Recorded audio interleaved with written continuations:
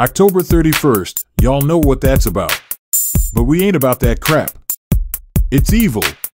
You punks don't like what I said? Then you can eat my. Wait, stop and zoom in. Um. You know what happens at the end of the month. End of the month. You know what happens at the end of the month.